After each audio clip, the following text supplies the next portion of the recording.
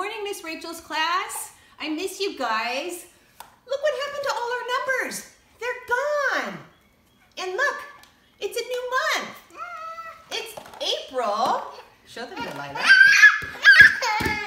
It's April 1st, 2020. Wow. Wow. Now, we gotta see what the weather is. The weather. Ready? What's the weather? What's the weather? What's the weather like today? Is it sunny? Is it raining? Is it cold or is it hot? Delilah, do you want to come put the weather on? She doesn't. So, Miss Rachel thinks it's going to be sunny today. Maybe I can. The weather today for Wednesday is sunny. Okay, I'll see you guys later.